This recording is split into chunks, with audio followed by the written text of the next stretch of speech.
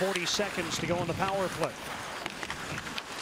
McDonald, he's hit along the end board. It's going to be a penalty here as Connauton is now challenged by O'Marra.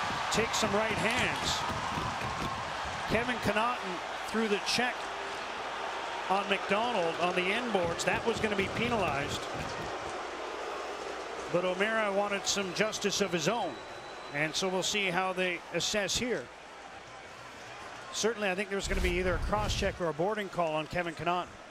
Yeah, that call was called from uh, the neutral zone from official from Mike Leggo back there, and while uh, Steve Grisari was behind the net.